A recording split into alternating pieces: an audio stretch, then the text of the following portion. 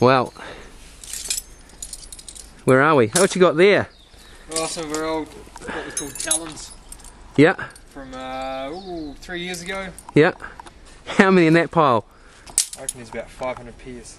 That's 500 pairs of crampons. That's pretty impressive, isn't it? you go through 500 a year? Uh, yeah, about 500 every 18 months. Right. There's quite a few there though. Excellent. And they're all, so you guys are going to recycle them, eh? Yeah, we've got a scrap metal guy's going to come and get it. And Excellent. Hey, thanks very much, Troy. No like. I don't like to see uh, a bit of recycling going down, and that's kind of an unusual product. yeah, it is. All right. See ya. See ya.